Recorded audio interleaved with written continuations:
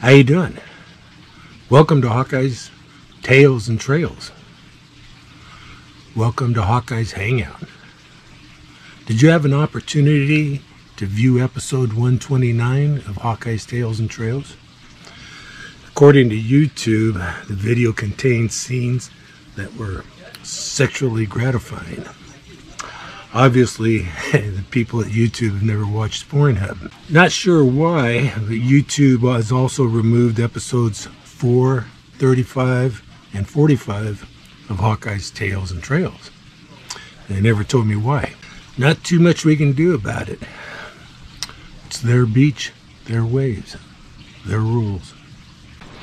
It was an attempt for me to share information to you regarding social nudism and family orientated nudist resorts. The nude scenes of people playing ping pong, eating, hanging out on the beach are not what I consider sexual behavior. YouTube did. YouTube does allow people like Angie Bikini, Stephanie Volker, Priscilla Reichert to publish sexually arousing videos. Not to mention all the Asian Pacific pocket girls. And the young girls bouncing their boobies on TikTok.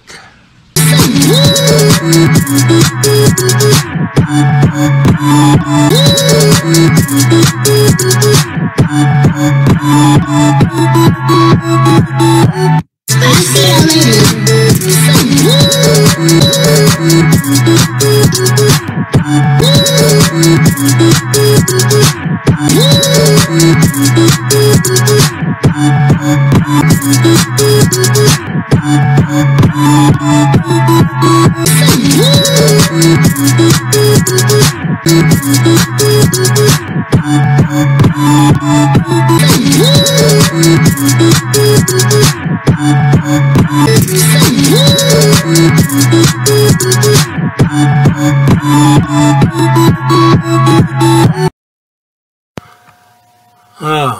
happened to the sound?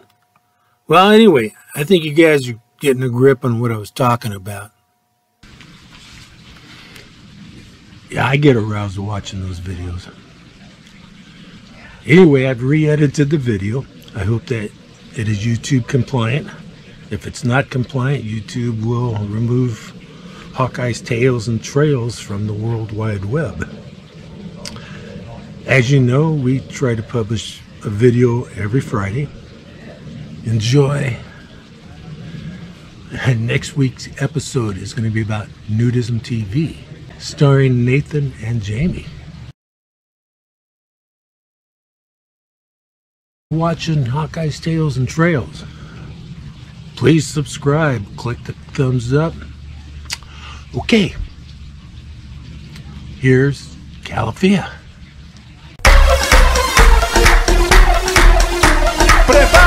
Doing today?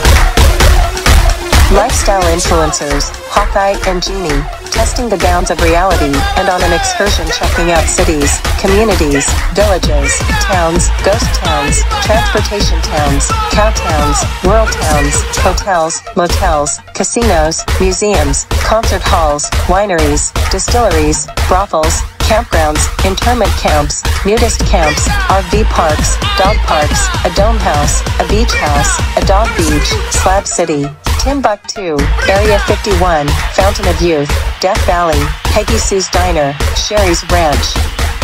Their bedroom and some other places of interest to find out what is really going on during the post-COVID pandemic era. What do you think about that? You're a Hawkeye! As you can imagine, in their travels they have encountered many different types of communities. What is a community? A community is a social unit, a group of living things, with commonalities such as place, norms, religion, values, customs, or identity. Communities may share a sense of place situated in a given geographical area, like a country, village, town, or neighborhood, or in virtual space through communication platforms. Durable good relations that extend beyond immediate genealogical ties also define a sense of community, important to their identity, practice, and roles in social institutions such as family, home, work, government, society, or humanity at large. Although communities are usually small relative to personal social ties, community may also refer to large group affiliations such as national communities, international communities, and virtual communities. People that live on the road, such as long-haul truck drivers and nomads, are a community. Episode 129 is about the nudist community. Social nudism is more extensive than you think. Naturism is a lifestyle of practicing non-sexual social nudity in private and in public. The word also refers to the cultural movement which advocates and defends that lifestyle. Both may alternatively be called nudism. Though the two terms are broadly interchangeable, nudism emphasizes the practice of nudity, whereas naturism highlights an attitude favoring harmony with nature and respect for the environment into which that practice is integrated. With that said, naturists come from a range of philosophical and cultural backgrounds. There is no single naturist ideology. Hawkeye considers himself naturist. Did you see episode 80 of Hawkeye's Tales and Trails? It was a visit to the Western Nudist Research Library and a great interview with Mark. Ethical or philosophical nudism has a long history, with many advocates of the benefits of enjoying nature without clothing. At the turn of the 20th century, organizations emerged to promote social nudity and to establish private campgrounds and resorts for that purpose. Since the 1960s, with the acceptance of public places for clothing optional recreation, individuals who do not identify themselves as naturists or nudists have been able to casually participate in nude activities. Nude recreation opportunities vary widely around the world, from isolated places known mainly to locals through officially designated nude beaches and parks and on to public spaces and buildings in some jurisdictions. Olive Dell Ranch is a Southern California nudist resort for families and couples. Located in Colton, California, just a few miles from San Bernardino and Riverside. Olive Dells Ranch, central location is close to many of Southern California's main tourist attractions. It's the ideal spot to enjoy the nudist naturist lifestyle, whether visiting for the day or an overnight stay. Their nudist club offers rental cabins, RV hookups, campsites for extended stays.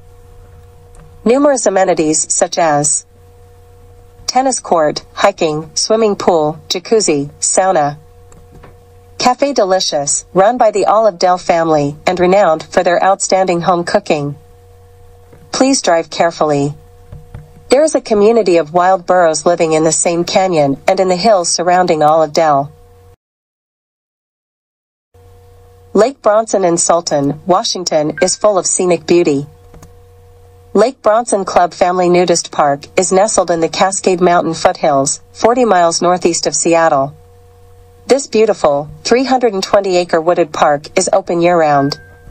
It features a seven and a half acre spring fed lake with swimming and sunning beach, and an 85 foot waterfall that cascades into the Sultan River. There are miles of hiking trails in the park. Lake Bronson is a family oriented nudist club, catering specifically to those who love nature and the great outdoors. Relax naturally at Willamette a modern resort in a secluded setting. The Willamettans is the largest nudist club in the Pacific Northwest, with more than 350 members. They are member owned and located on 40 acres just 20 minutes outside Springfield, Oregon. Founded in 1953, the 40 acre grounds filled with mature trees, native vegetation, and beautiful gardens invite you to relax and enjoy their resort. Deer and birds abound, making sightings a frequent delight. They are a modern RV resort with over 100 RV sites, most with full hookups, and unlimited, wooded tent sites for camping. The Willamettans welcome singles, couples, and families of all ages. First time visitors should call first. Glen Eden Sun Club in Temescal Valley, California, is another member-owned and operated nudist club that is considered the premier nudist resort on the West Coast. Hawkeye will be publishing an episode about Glen Eden in the near future. If you have not yet experienced the freedom and fun of nude recreation, you are in for a wonderful and liberating experience when you visit these places. These locations are nudist clubs and not clothing optional clubs. It is expected that their visitors, members, and their guests are nude whenever appropriate and weather permitting.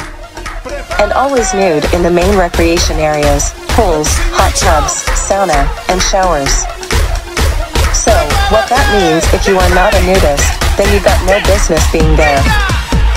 Yeah, that is correct. Open sexuality is not permitted at family-orientated clubs. You need to find adult-orientated places to get down. Check Craigslist. If you are interested in more information regarding social nudism and nudist clubs and resorts, contact the American Association for Nude Recreation at their website address on the screen. What do you think about that? I am impressed. Back in the day, we were not that organized. I think that is it. Let's get dressed, move it on over, and get on down the road. All information is deemed to be reliable, however we will have to wait and see if it really is. Thank you for watching Hawkeye's videos. Let him know what you think. Leave a comment. Click like, click the black cat in the lower right hand corner to subscribe and be notified when new episodes are available. I am the hostess of Hawkeye's Tales and Trails, hard-charging pagan woman warrior queen, Califia. Adios muchachos, you muchachas, catch you on down the road. Hasta la vista. Thank you. You did what? Oh yeah. I have done that too.